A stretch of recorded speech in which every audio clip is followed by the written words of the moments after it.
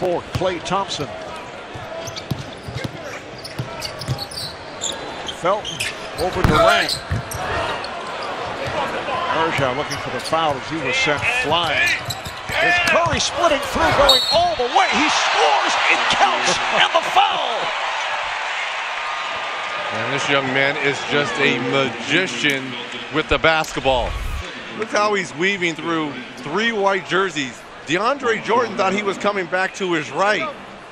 He just stayed on that left hand. Look at the bench reaction here. I mean,